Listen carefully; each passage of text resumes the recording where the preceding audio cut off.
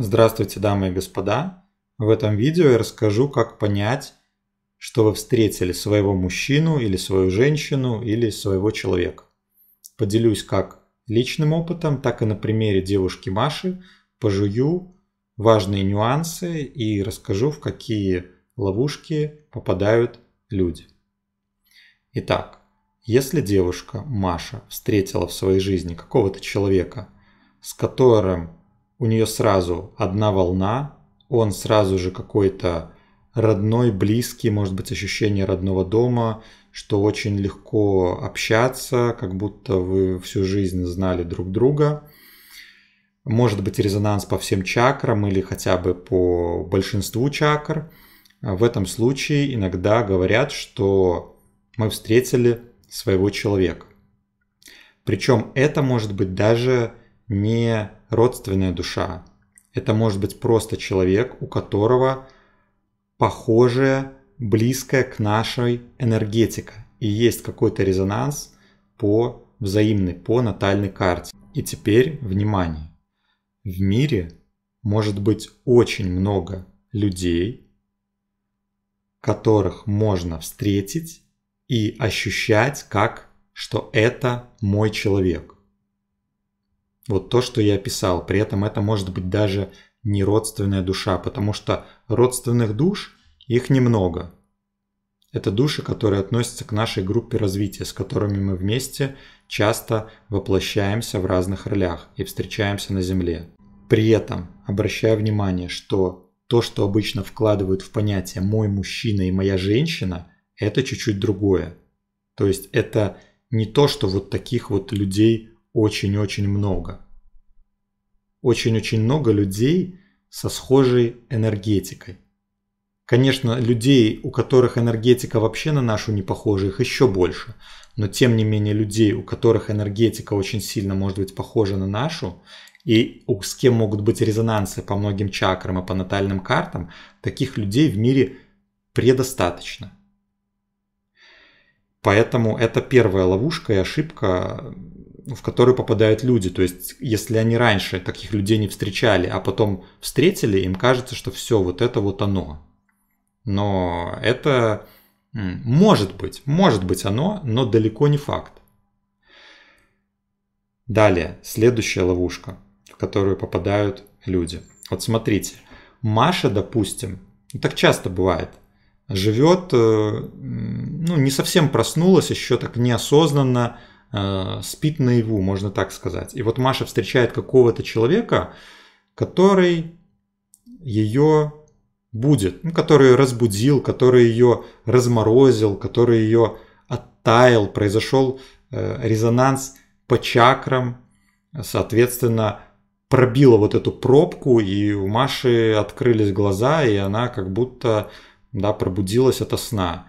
И в этой ситуации – у Маши могут возникнуть и часто возникают чувства сильные именно к этому человеку, который ее разбудил, который ее оттаял, разморозил и так далее. И Маша может думать, что тоже все, это он. Или да, что вот это вот мой мужчина, потому что он меня э, разморозил. Это тоже большая ошибка. Машу мог разбудить какой-то женатый мужчина, который уже априори не Машин, а ну, чей-то чужой мужик. Машу мог разбудить какой-нибудь нарцисс, манипулятор или бабник, который Маше в принципе нафиг не сдался. Машу мог разбудить человек, которому в принципе отношения не нужны. Машу мог разбудить человек, которого она просто встретила на улице, или это какой-то доктор, или это какой-то прохожий, массажист, тренер там и так далее. Ну, то есть я вам рассказываю именно э, из практики консультирования по этой теме, из жизни. Очень часто женщины, девушки играют по жизни в такую игру. Ну, это подсознательно происходит. Я думаю, вы все ее знаете. Она называется Спящая красавица. Итак, по легенде, Маша, принцесса, красавица, спит, и чтобы она проснулась, ее должен поцеловать подходящий человек. То есть какой-то вот ее человек ее должен поцеловать, и тогда она проснется. И вот она за этого принца, который ее как бы разбудит своим поцелуем, она э, выйдет замуж. И вот девушки в это играют, получается. Ну, подсознательно эту программу реализуют в жизни. Кто-то Машу будет, и у Маши возникают сильные чувства к этому человеку. Но очень важно понимать, что это просто программа, то есть это не про любовь. Да, здесь может быть совпадение такое, что тот, кто разбудит Машу, допустим, это будет ее близнецовое пламя. Такое может быть, да. Или что это будет какой-то человек, которого тоже можно будет э, назвать, что вот это Машин человек, да, мой человек, мой муж, Машин мужчина. Но очень часто Машу будет просто какой-нибудь мужчина, потому что, ну, сколько уже можно спать. У меня в жизни был опыт, когда я встретил девушку, ну, то есть я встречал разных девушек, но вот одну потом встретил, и такой был резонанс, что я чувствовал, что встретил своего человека. Что сразу же человек родной, сразу же мы на одной волне. Ну, я записывал про это отдельное подробное видео. Но я все равно не мог назвать и не мог чувствовать, не чувствовал эту девушку, как вот, что это моя женщина. Я все равно искал. Я все равно искал ее, ту самую, которая моя женщина. И я ее нашел. Я нашел близнецовое пламя. Но важно понимать, что ваш мужчина, например, это не обязательно близнецовое пламя. Потому что программы воплощения, развития могут быть разные. Иногда близнецовое пламя в принципе не воплощено, или может быть какой-то сценарий, что вы воплотитесь, но вы будете развиваться как-то в разных семьях, например, вообще не контактировать. Может быть очень по-разному. Зависит от программы воплощения. Ну и, конечно, от вашего свободного выбора тоже. То есть тут нужно учитывать и заложенный план, и вашу свободу воли. Потому что если вы, ваше близнецовое пламя воплощено, и вы хотите встретиться, построить отношения, то вы встретитесь и построите отношения. Как я понял, что это моя женщина? Сейчас я буду рассказывать не про признаки близнецовых пламен, потому что про признаки у меня записано несколько отдельных видео.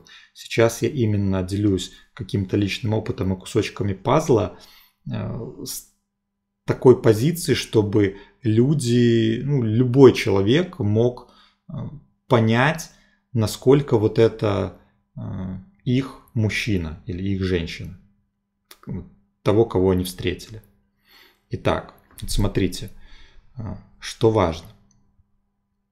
Очень важный момент, что людям очень хорошо просто вместе – неважно, что делать. То есть что-то можно делать, можно ничего не делать, можно просто молчать, можно чем-то заниматься.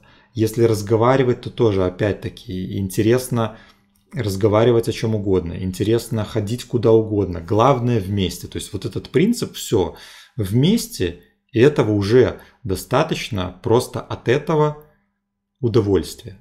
Причем это не только в начале отношений. Уже прошло много лет, это как было, так и осталось. Что вместе, независимо от того, что мы делаем, где мы делаем, как мы делаем, или мы просто ничего не делаем, но мы вместе, от этого просто получаем удовольствие. Следующий момент. Одинаковые вкусы в музыке. Это реально важный момент, потому что у меня были вот, был этот опыт, где человек вроде мой но в музыке что-то расхождение какие-то. И представьте, я э, ну, не могу слушать, вот она слушает музыку какую-то, а я не могу это слышать. Я говорю, ну выключи, я это не могу слушать. Или я тоже что-то слушаю, она это не может слушать. Ну, где-то есть пересечение, но много несовпадений. А музыка это же не просто так. Это значит на глубинном уровне энергетика есть там какие-то важные отличия. То есть синх... нету резонанса. Ну, в достаточной степени нету резонанса. То есть предпочтения в музыке одинаковые. Они говорят о глубинных каких-то, ну, такой сов... ну, совместимости, назовем это так в данном случае. Далее, что еще? Предпочтения в еде. Они косвенно примерно о том же самом говорят. То есть мы можем есть, например, блюда друг друга. То есть э, мне нравится, что она выбирает, и ей нравится то, что я выбираю. Мы можем есть вообще из одной тарелки. И кто-то может там подумать, фу, из одной тарелки, как это? Я, например, у меня тоже такое было когда-то, но до того, как я вот не встретил именно свою женщину. Ну и вообще такая базовая важная вещь, что у вас одинаковые взгляды на взаимоотношения. То есть вы видите отношения вот так и хотите, чтобы было вот так, и женщина или ну, в вашем случае, да, мужчина видит тоже отношения так же, как и вы. Ну или вы, по крайней мере, высказываете друг другу это, как хочется, чтобы это было, и пазл складывается. То есть роли в порядке, то есть кто какую роль хочет играть, кто чем хочет заниматься, как это люди видят. То есть это должно совпадать, это вообще базовое. То есть как вы видите взаимоотношения, как партнер видит взаимоотношения. Потому что если здесь расходятся, если вот в таких моментах какие-то глобальные ценности расходятся, ну, это никак не может быть ваш мужчина. Даже если у вас там космический интим и космическая интеллектуальная связь, ну и что? Э, этого недостаточно, понимаете? Это как бы само собой, то есть это само собой должно быть. Не нужно думать, что вот это все, и теперь ради этого я буду э, терпеть что-то другое, что мне не подходит. Все, что вот вылетает из рта другого человека, это все интересно. О чем э, задумывается, как какие-то ситуации воспринимает, как анализирует, какие вопросы возникают в голове ну вот все интересно. Кому нужно больше информации про близнецовые пламена, про родственные души, я записал на эту тему отдельный плейлист. Ссылка будет в описании под этим видео. Кто хочет разобраться в себе, во взаимоотношениях, в ситуации, понять, кого вы встретили, близнецовое пламя или что-то другое, понять перспективы взаимоотношений, приглашаю на онлайн-консультации узнать подробности и записаться можно вот здесь вот вверху по ссылке. Желаю вам всем счастья, любви, радости, удовольствия от жизни и ну, всем женщинам найти своего мужчину, всем мужчинам найти свою женщину и построить гармоничные отношения и наслаждаться ими. До встречи.